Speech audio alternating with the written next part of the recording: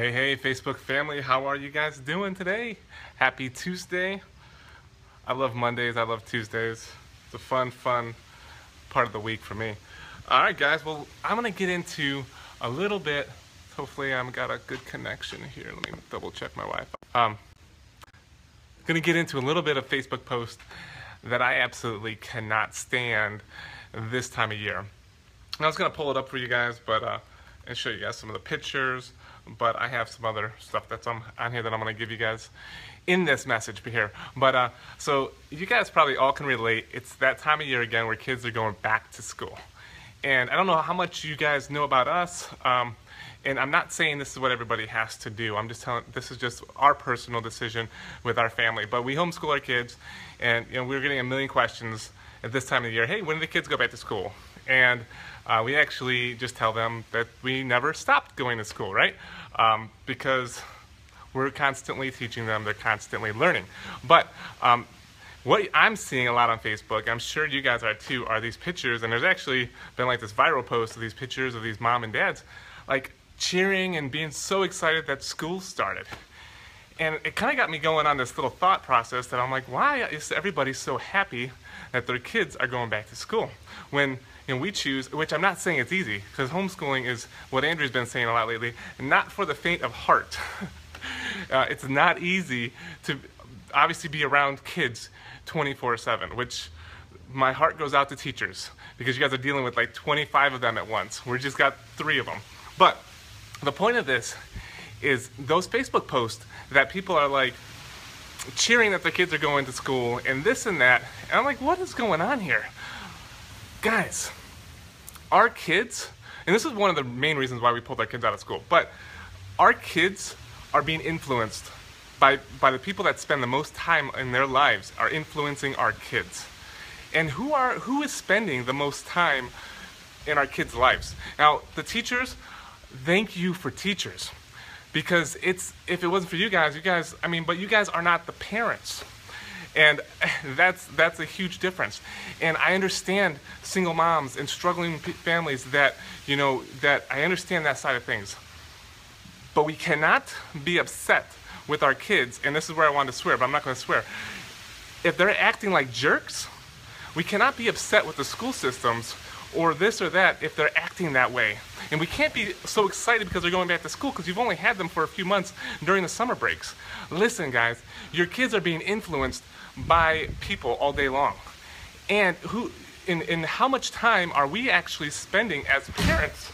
Oh, as, as parents with our kids. So let me give you guys a little quick little study that I read.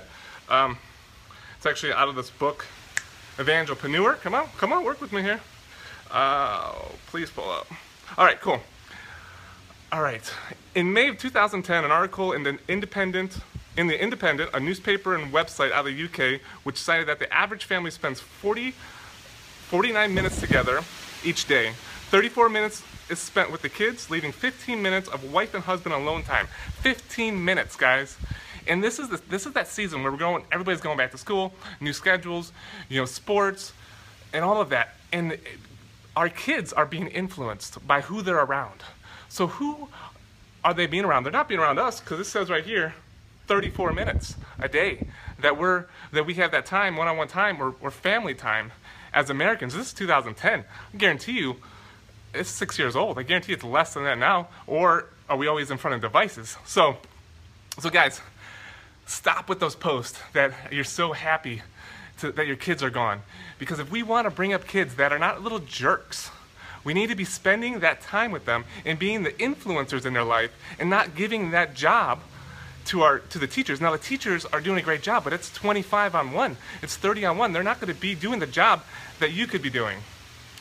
So instead of and and I'm not against school. I'm not knocking school or any of that. But listen, school is like 8 to 3, right? Let's stop signing them up for every stinking thing that, that puts you not around your kids. Your kids need you. No, they do not need you to be their best friend. They need you to be their parents. They need guidance, they need wisdom, and they need to be brought up right. I did share a video from Pastor that was getting into about thugs and how, you know, this police thing and how he's supporting the police, and I do too. But guys, these are products. These kids are, are products from not being around their moms and their dads. They're being influenced by other people. People are influencing them that are around them.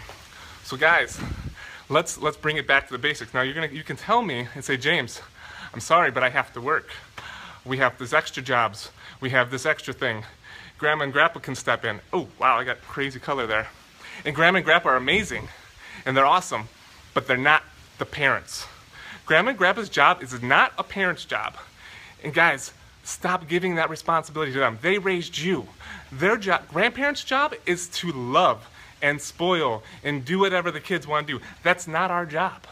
So, so let's stop pawning our kids off to grandma and grandpa to, to raise because they're not to raise them. We are to raise them. So, guys, so back to the scenario. And this is actually, if you guys ever read this book or, or want to read a book called Evangelpreneur, talks all about life and money and wow, my light's getting crazy. Life and money and time and what we're really spending our time with every day and, and really, you know, where our treasure is, is where our heart is, right? And it also talks about in here, you know, I can give you a lot of marriage advice in here. You know, at 17, 15 minutes that spouses are, are spending time together, that's, and, and you ever hear of work wife, work husband? That's a reality because they spend more time with their spouses at work, not spouses, but people, more time, more quality time, the best of their day, the morning, the you know the afternoon, not the, the leftover time that we get with our spouses. But that's a whole other conversation, and we will definitely get into that because Andrew and I are going to be getting into a marriage. Um, we're going to start doing a marriage series and just give some some some truth, some reality, and we we're even talking about talking about sex. Woo. Don't say that, right? But uh, sex and money, both we didn't think our parents had, both they had, right? And nobody talks about it. You don't hear about it at school, you don't hear about it at church, you don't hear about college, but it's, it's the reality, guys. So, what, what are we going to get out of this? It's the beginning of the school year. First of all, stop the excited pictures about your kids going to school.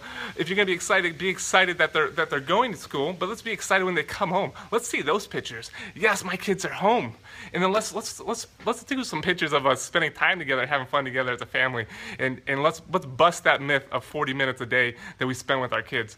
Let's bust that out. Let's put the cell phones down and let's bust it. Because our kids need to be influenced by you and not by everybody else. Did you know I think the age is like by, by the age of 10 or 11, most kids are already, that grow up in church, right? They grow up in church, just like our kids, growing up in church. By 10 or 11, they're already pulled away. Why? Because they're spending time with the people who do not, that, that's, their influencers in life are not in church.